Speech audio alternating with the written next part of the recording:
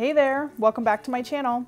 It's springtime here in Botswana, which feels so strange to say in September. We are enjoying the warmer weather and everything is in bloom. However, my kids are missing the fall flavors of the States, which is why I'm excited to share with you all the pumpkin spice recipes we've been enjoying over the last few weeks. I haven't been able to find pumpkin pie spice, but I was able to make my own. As always, I'll list all the ingredients down below. I also had to make my own pumpkin puree, which was especially easy with this bag of fresh cut pumpkin. People here in Botswana actually eat a lot of squash, including pumpkin, just not in pie form. Okay, now that I have my two main ingredients, we can jump right in. The first thing I wanted to make were these pumpkin energy bites. I have a recipe for energy bites similar to this that my kids love, so I thought a pumpkin version would be fun. This is super simple. Just mix everything in a bowl till well combined, adding more oats as needed. You want them to hold their shape, but you don't want them to be dry. Once you're happy with the consistency, add a little salt, then give it a taste, adding a bit more salt a little at a time till it's to your liking. Once it's all mixed together and tasting good, cover it with plastic and pop it in the fridge for a bit. Once it was chilled, I used a half tablespoon measuring spoon and formed them into little balls. I placed each one in a mini muffin liner. You could also just place them on a sheet of parchment paper. My kids love to eat these from frozen. Using two separate dishes, I froze mine in a single layer. Once they are frozen, I move them to an airtight container, double layered. This pumpkin butter turned out so good. Whip softened butter with honey, pumpkin, pumpkin pie spice, and a pinch of salt. I would love to be able to store this on my countertop, which is what I would have done in the States. However, with summer approaching and no central air, I think it's best for me to store it in the fridge. This butter goes especially well with fresh baked bread. I have an amazing bread recipe that's not sourdough. I'll be sharing soon, so be sure to subscribe if you haven't already so you don't miss it. Speaking of bread, I use that same loaf to whip up some pumpkin pie spiced French toast. To a bowl, add eggs, cream, sweetened condensed milk, pumpkin pie spice, a splash of maple syrup. Don't forget the pumpkin like I almost did. Whisk all of that together and pour it over your bread. You could totally use slices from a store-bought loaf. That's what I usually use. Make sure all those pieces get covered and let them soak for at least 30 minutes. You could even soak them overnight, making breakfast that much simpler the next morning. I think this would make a really good French toast casserole also. That's definitely something I'm going to have to experiment with. This turned out so good. We topped them with some of that pumpkin butter. We didn't even use syrup. So this next recipe is for pumpkin spiced cold foam. It's absolutely delicious and it's what actually inspired that French toast recipe. Mix cream, sweetened condensed milk, pumpkin puree, and pumpkin pie spice together. And that's it. I brewed, then chilled my kids some chai tea. I made myself some cold brew coffee. This is great for those of us living in a hotter climate but still want to indulge in a festive spiced drink. I added a little maple syrup for sweetness. This was so good I actually had to mix up some more pumpkin pie spice.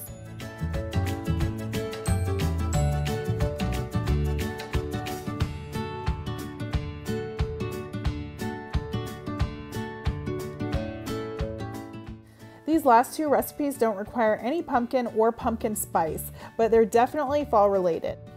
All you need is sugar, butter, cream, and salt.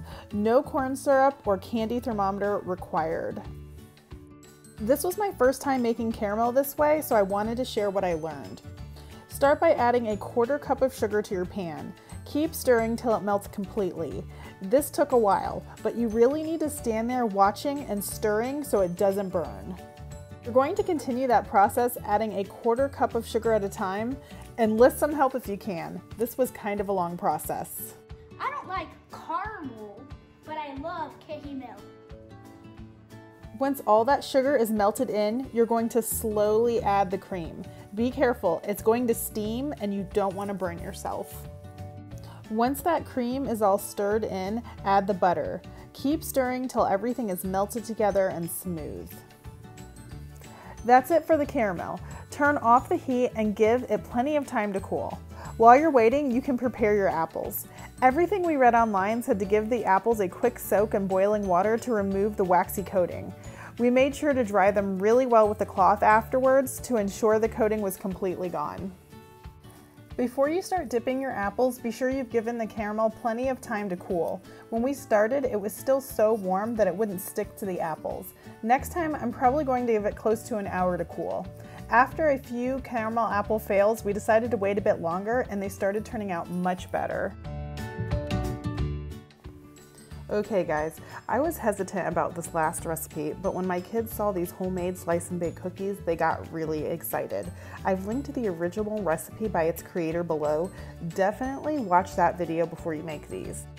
This is a basic sugar cookie recipe. Once you've made the dough, you're going to separate about 3 fourths of a cup and color it orange. Then take out about 1 tablespoon and color that green. Now wrap each piece in plastic and let them chill in the fridge for no less than two hours.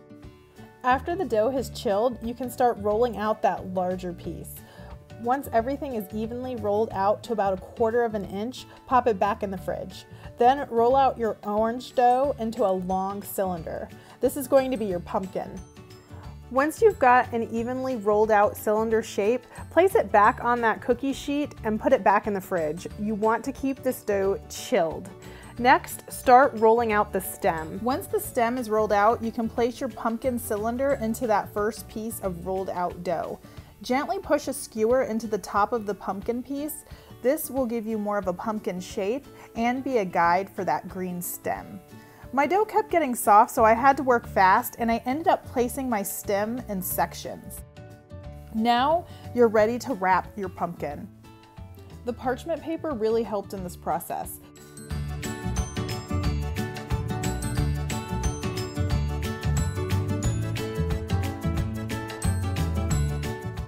Once you get your pumpkin wrapped, cut off the excess dough.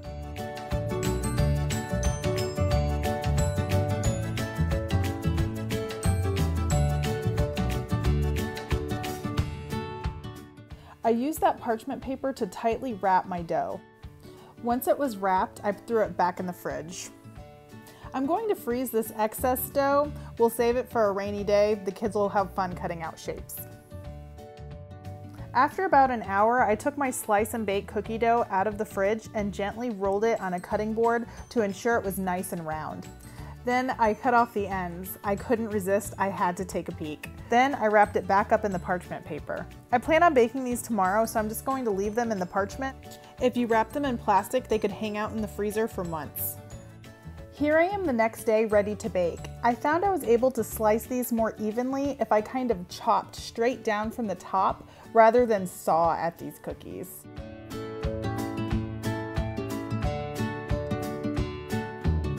There you have it, all the flavors of fall. If you enjoyed this video, I would really appreciate it if you would tap that subscribe button. Also, comment below your favorite flavor of fall. Until next week.